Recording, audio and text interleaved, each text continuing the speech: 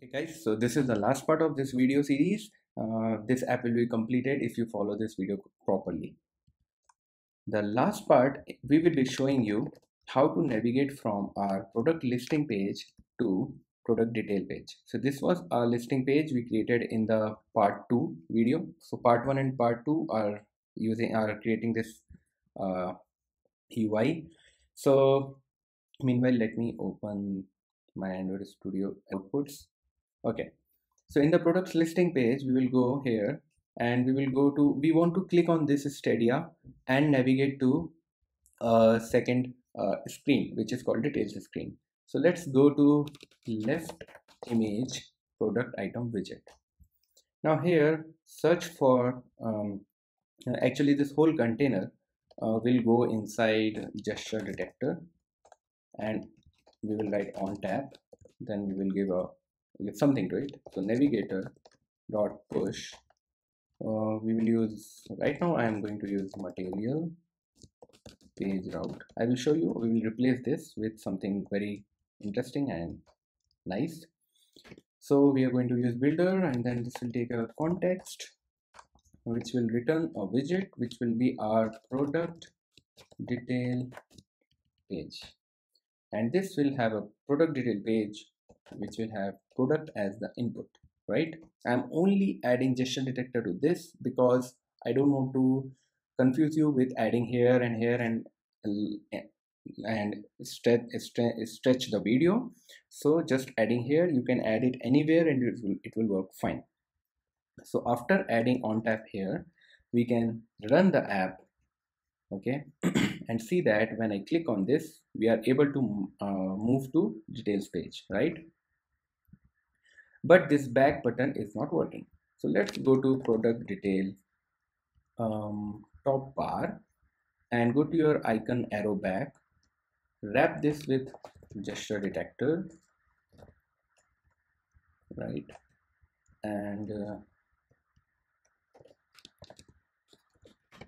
do navigator dot pop. That's it. Let's close this. And now let's run it so now if I do here back button it has gone inside. It has gone back. So I'm going in and then coming out like this. Okay. If it is working fine let me just open my Android Studio uh, Android SDK emulator. And uh, let me run it here. It will take some time to run. Okay. Till then we will add a hero widget hero tag hero widget okay? So i want this image to animate and link it with the details page image right? So here we have in the left item left product item image we have this image.asset so just wrap it in a hero widget and give it a tag.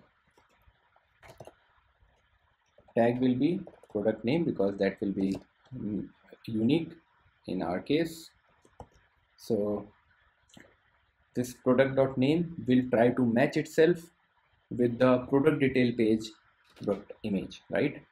So go to product detail content widget and this is where is my image? And this is my image path. So go here and do the same thing for this as well. Hero then tag and then product dot name right? And we did same thing here. So now if I run it uh, let, it is thinking something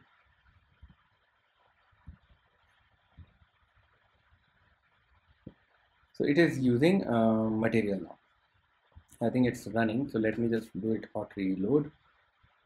It's syncing files and let me bring it here so that we can see it properly. Okay it's loaded and this is how it is coming see the animation? Yeah? So this is how it looks. But you can see when I press this back button it the page itself goes down. So this is material page route. So what we are going to use is uh, not the material page route. We are going to use fade page route which I created and inside this widget you need to just pass product detail page i will tell you what this does how it does. So we will pass in the product. And now if you see the output let's hot reload again. So if i click on this now see the animation now. It's much more slicker. It's much more uh, intuitive the page is fading out and next page is getting fading in.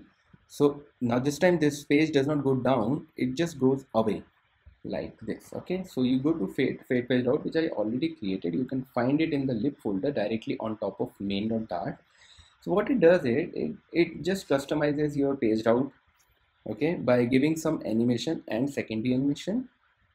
So you use fade transition. You can use multiple transition. You can use scale transitions as well but right now we need fade so use tween begin will be 0 and end will be 1 and this is the animation which will be passed in.